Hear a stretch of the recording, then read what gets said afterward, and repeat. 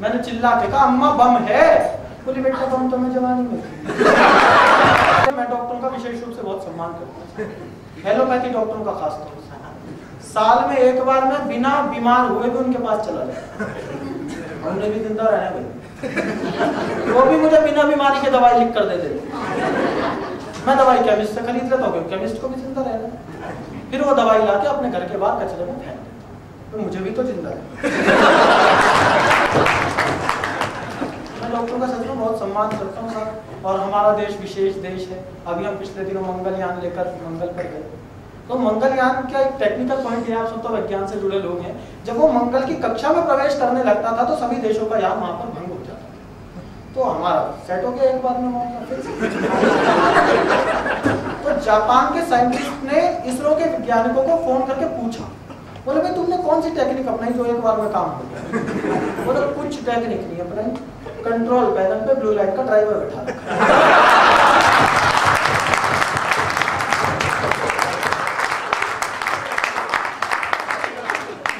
और उससे ये कह दी थी कि यहाँ पे सवारी मिलेगी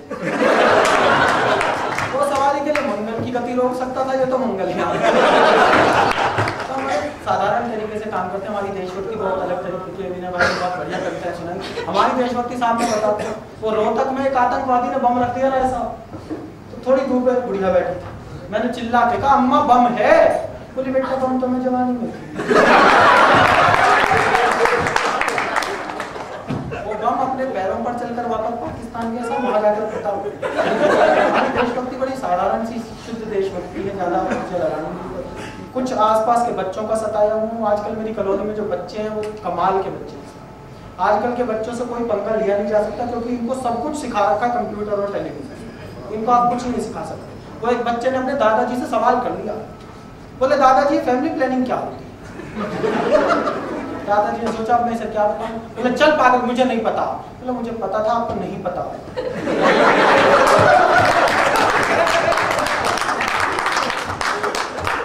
आपको पता होता तो जायदाद के आठ हिस्से नहीं होते।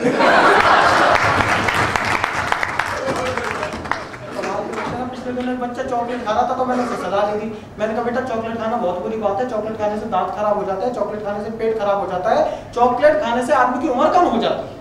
वो बोला कि मेरे दादाजी 105 साल जिए थे। मैंने कहा, वो चॉकलेट खाते थे? बोला, ना, वो अपने काम से काम रखते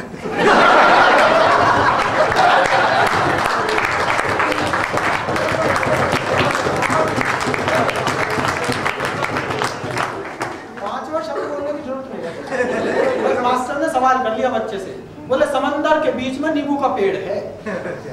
उस पर से नींबू कैसे तोड़ कर लाऊं? बच्चा बोला जी मैं चिड़िया बनूँगा। उड़ कर जाऊँगा और नींबू तोड़ लाऊँगा। मास्टर बोला रे आदमी को चिड़िया के तेरा बाप बनाएगा। तो समंदर के बीच में नींबू का पेड़ का तेरी माँ लगाएगी मास्टर ने पूछ लिया, बोले, बताओ, अध्यापक माँ से महान क्यों होता है? अब बच्चे ने जो जवाब दिया, बात समझ आ जाए तो तालियाँ बजाना। कल समझ आए, कल बजाना, फिर जो आपके साथ हो, आप। बोले, अध्यापक माँ से महान क्यों होता है? बोला, जी, माँ एक बार में बस एक बच्चे को सुधा सकती